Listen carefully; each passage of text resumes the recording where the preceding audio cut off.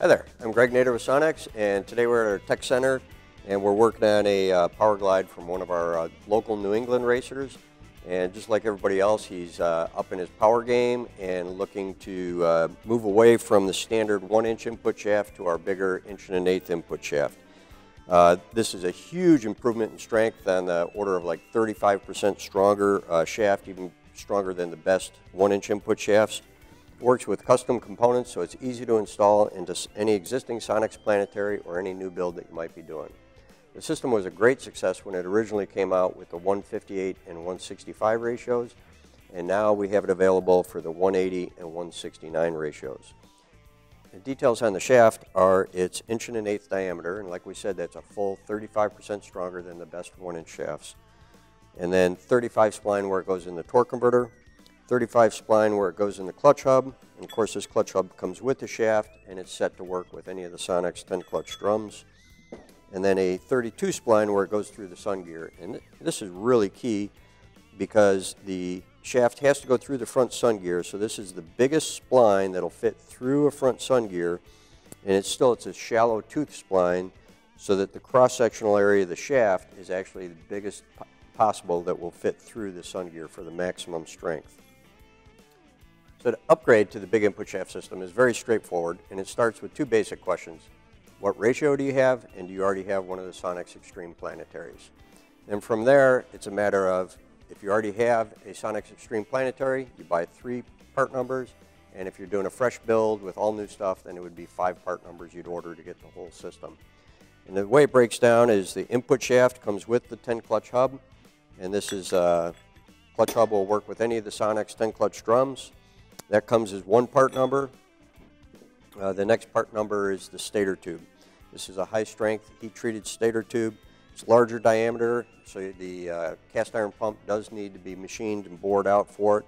And most significantly, the serrations here that bite into the pump to prevent it from rotating are larger in diameter, deeper, and longer, so it has more bite than any of the OE style stator tubes that have been out there. And then, of course, our guidelines and instructions uh, tell you how to pin this in place to prevent it from rotating as well. And the system has been working great uh, in applications up to and over 3,000 horsepower with no problems. So there's no need for a uh, bolt-in type stator uh, to run the system.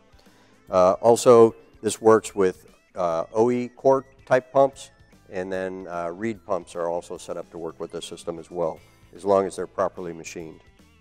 And then the final part of the system, if you already have the Planet, is to buy a rear sun gear kit. So this is a uh, rear sun gear with the standard 19 spline, uh, spline on it. And then this is the big shaft here with the 32 spline. And you can kind of see the size difference. This would be for the 19 spline and then for the 32 spline it's significantly bigger and, and stronger in that area. Now if you're doing a fresh build then you will also need a planet. So rather than buying a whole planet, taking it apart and taking out the 19 spline sun gear, uh, we do sell the planets uh, without the output shaft and without the sun gear. So you would buy the planet assembly that will come complete minus the output shaft and minus the sun gear. You buy the sun gear kit separately, you buy the output shaft separately, and then you assemble it all at your shop. Very straightforward. And then the last piece of the puzzle, of course, is the torque converter turbine hub. The, uh, with the input shaft spline being larger, you have to have a matching spline in the torque converter turbine hub. Uh, this is a 35 spline turbine hub. So your torque converter builder is going to have to set you up with a 35 spline torque converter. And uh, most converter builders can do that now. That it's starting to become very common with Powerglides and 400s. So if you have an existing Sonnax Extreme Planetary, you only need to get three components. Input shaft, stator tube, sun gear kit. And if you're doing a fresh build, then you would add a carrier assembly and an output shaft to that. And the most significant thing about this whole system is it completely eliminates problems with the standard one-inch shafts, whether it's broken shafts, spline twist, being let down at the track, um, brings the Powerglide to a whole new level of peace of mind in this area and really allows this unit to operate at higher power levels than it ever has before.